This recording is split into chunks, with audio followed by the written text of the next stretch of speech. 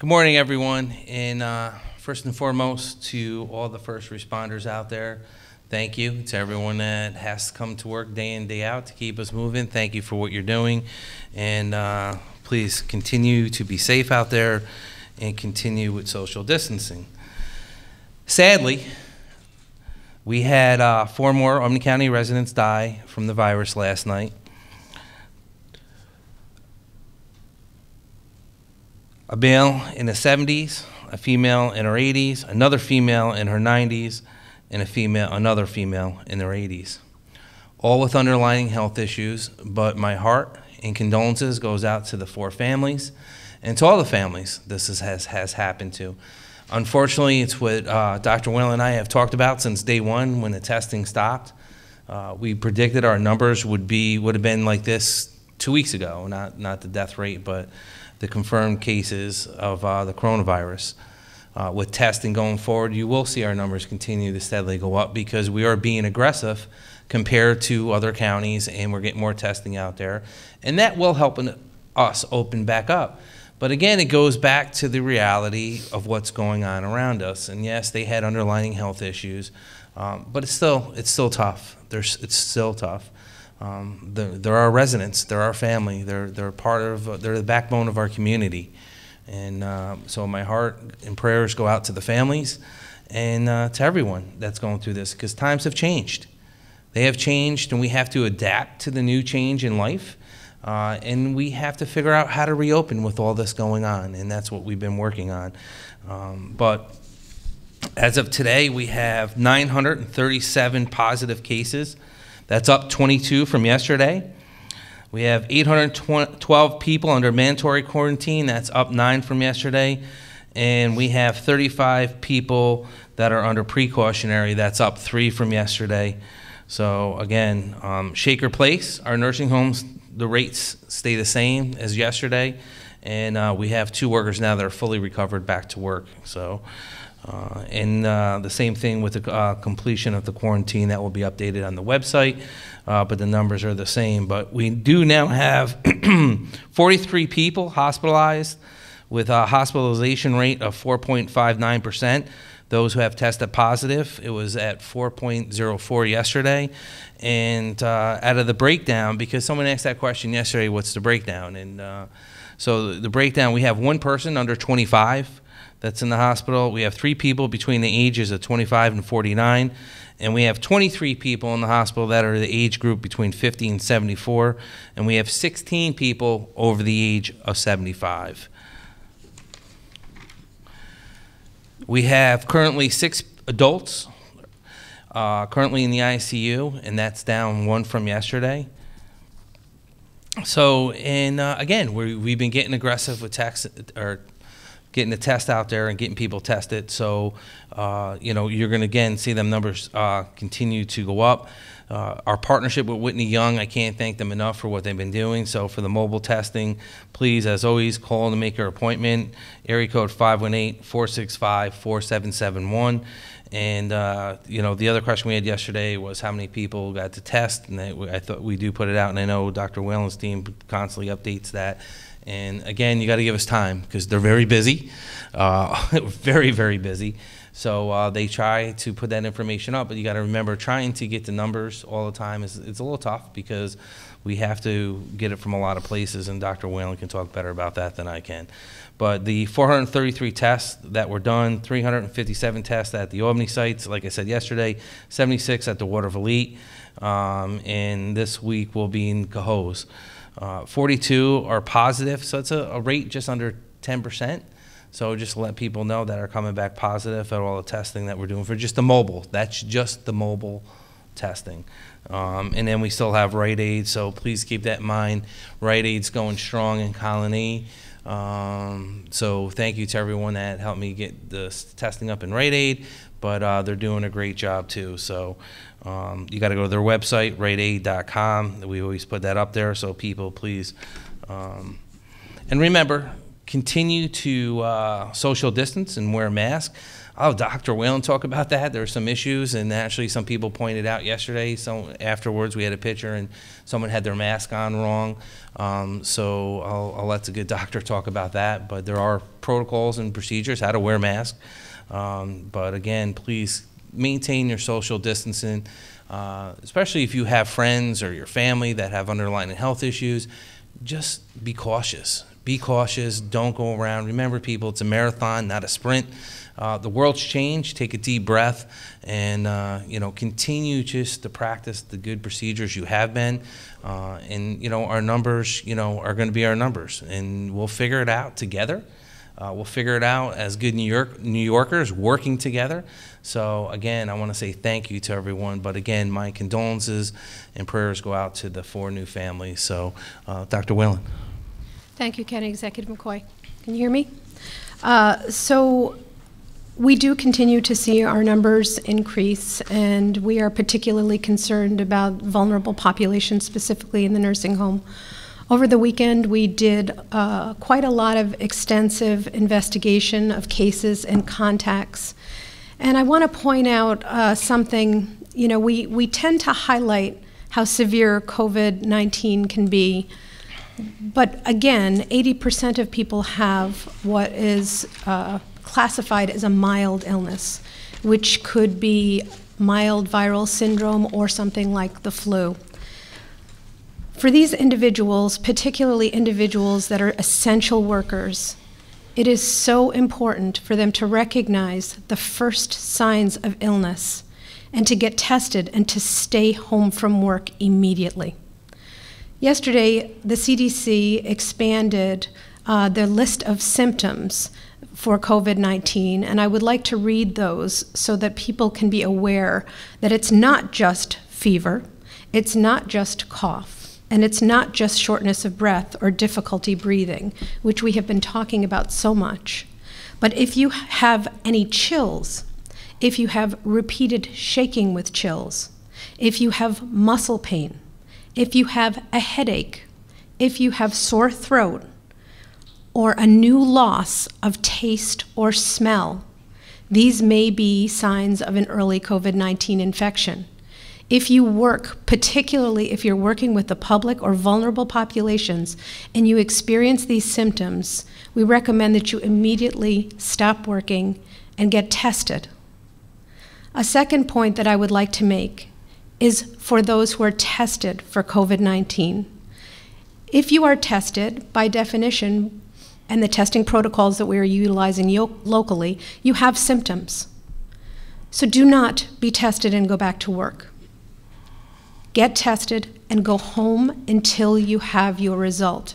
You should stay at home until you know your result and not return to a work environment until you have received a negative test result and you are asymptomatic. Please don't hesitate to reach out to the health department to clarify any of these points. We really need to ensure that those that work with our vulnerable population aren't unintentionally spreading the disease. We know that in nursing homes and other settings, there are symptom checks on a daily basis, there are temperature checks on a daily basis, but we need the workers themselves to be more educated and more vigilant about these uh, minor symptoms that may indicate COVID 19. So I want to get that message out and just reaffirm the importance. We're very lucky in Albany County that we have the ability to be tested if you have symptoms.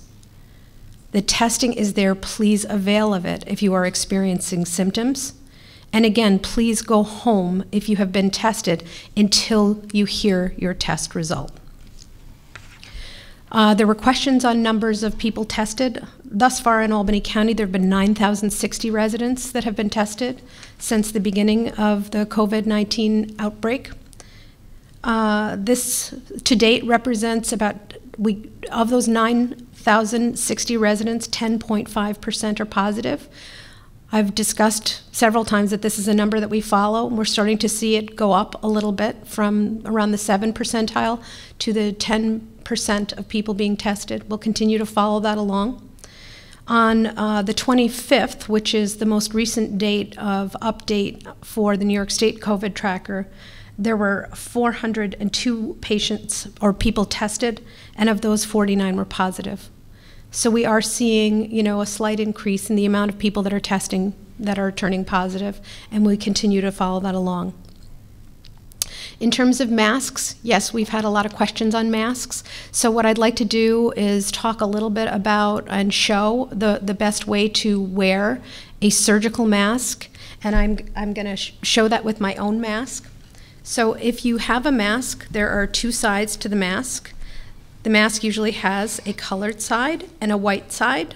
The white side is always the increased side, so the colored side of the mask should face out. What you want to do when you take your mask is just to touch the uh, just to touch the strings on the side. Try not to uh, touch the mask because if you touch it with your hands that are not clean, you are contaminating your mask. So it's very important before handling or touching a mask to utilize hand sanitizer or to make sure your hands are appropriately washed.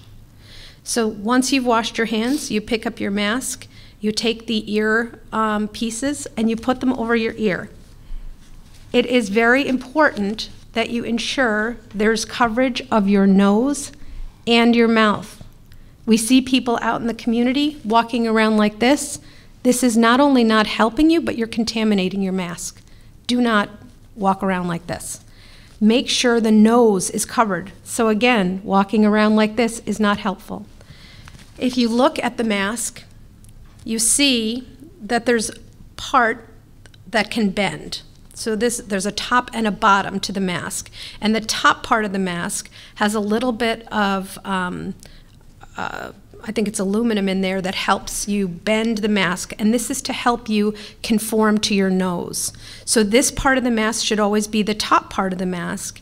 And when you put the mask on, what you want to do is pinch that part so that you get a good seal around your nose. This is also helpful for people who are wearing glasses so that you don't fog up your glasses. If you have this pinched, you have better infection control and you will not fog up your glasses. And again, you want to make sure that the nose and the mouth are covered. So those are some pointers for wearing masks. Again, when you take a mask off, uh, you know, it's important if you are going to be reusing a mask not to put it on a surface that it could become contaminated on. So you may want to either bring, uh, you know, a covering or uh, something to put this in to keep it clean if you are going to utilize it again. If the mask becomes dirty, if the mask becomes wet, it is generally not suitable for a second use. So these are some pointers. I know that we have a video posted online that can also be helpful to others. And certainly, again, contact the health department if you have specific questions on masks. We're happy to provide additional information. Thank you. Thank you, Dr. Whalen. I appreciate that. In uh, another effort in our community from the Boys and Girls Club, uh, they are filling a void that in the community with these kids out of school uh, looking for a hot meal or looking for lunch or just looking for breakfast, just looking for food in general, uh, they have stepped up to the plate and uh, and really have helped out in in an area where we need to get food out to kids and we need to help them out, not just here in Albany County, but in the capital area. So I do want to say they've put out 60,000 mail so far through 12 locations in Albany and Troy and uh, you know, and they're doing about 2,100 meals a day on Monday through Thursday, and double that amount on Friday to give kids a, a, meal for Saturday. So I do want to thank uh, Justin Reuter, Reuter, who is the CEO. I want to thank you for all you're doing, and have you talk about what you, the Boys and Girl Club's been doing throughout the area. Thank you, County Executive McCoy. Uh, I'm happy to be here today representing the Boys and Girls Clubs of the capital area. Uh, first off, I want to thank you and Albany County for inviting me to speak today. There are so many organizations that are out there in our community doing great work to keep this uh, community functioning. So I applaud everyone for their courageous efforts, especially our frontline workers and our first responders that are out there every day. Uh, as we all know, these are extremely challenging times for many people. Many are unemployed, and a lot of them are worrying about how they're going to feed their family. As soon as New York State made the decision to close schools, the Boys and Girls Clubs of the capital area knew that food access was going to be a very big challenge for many families in the capital region. When schools are open, our organization serves 1,100 hot meals every single day to after school programs throughout the capital region. With the temporary closure of these programs as well as schools, we knew we really had to act fast to ensure that youth did not go hungry. With that, the Boys and Girls Clubs of the capital area launched a mobile meal service program in 12 locations so we could bring food right to the front doors of families. The Boys and Girls Clubs of the capital area's efforts, as well as the efforts of our school districts and many other community partners, are ensuring that many youth and families do not go hungry. On our first day, we served 425 meals and are now up to serving 13,000 meals each week. As the county executive mentioned this past week, we served our 60,000th meal since the program launched. The need for food continues to grow as this pandemic continues on. In the beginning, our goal was to feed youth, but as we have seen, many adults are asking for food as well. The Boys and Girls Club of the capital area continues to look for creative ways to support as many families as possible through donations from the community, our corporate partners, as well as many volunteers that have stepped up each day to help us serve meals. People are really scared to leave their homes right now. Many are relying on public transportation to get to the grocery store. Additionally, a lot of these families reside in so-called food deserts. So imagine this, imagine traveling to a grocery store with your kids in tow, using public transportation, and expecting your children to utilize social distancing while in the grocery store. It is truly a scary thought for many. By providing healthy, hot, nutritious meals Monday through Saturday, we are doing our best to help fill that issue and fill the gap for those that truly need it. There has definitely been some challenging days outside battling the rain and the cold weather, but without these deliveries, children might go hungry. Our staff and volunteers have done whatever it takes to make sure that children are eating. Not only have we been delivering meals, but we are partnering with many other organizations to deliver um, program supplies and other materials with our meals. We partnered with RPI to deliver STEM kits. We delivered census information, books, and many other activities that families can do at home while schools are closed. In order to continue expanding our meal service, we are asking for support from the community. If you're interested in volunteering at any one of our mobile meal locations, you can call the Boys and Girls Club at 518-462-5528, or you can email meals at bgccapitalarea.org. And additionally, uh, if you'd like to make a financial contribution, every $3 that is donated equates to one meal being served in the community. Um, you can visit our website at bgccapitalarea.org. And with that, I just wanted to say thank you to Dan for having me up here today. Uh, we appreciate everything you're doing to keep the community and the citizens informed of how this pandemic is affecting us locally and nationally, and keep up the great work. Thank you, Justin, and thank you to what the boys and girls of the capital region are doing. Uh, we need you. I do want to remind people these mails that are provided for people that obviously uh, we're trying to help the laid off workers first and foremost the uh, seniors that can't get out, and people that, like Justin said, uh, the best that have to rely on trust or public transportation to uh, get to the the supermarket. So Justin, thank you for everything that you're doing, and uh, I can't thank you enough for helping us out in the community. And again, to the 36 families here in Albany County, our uh, heart and love and prayers go out to you and your family at this time of need, and uh, we'll, we'll continue to be there for you.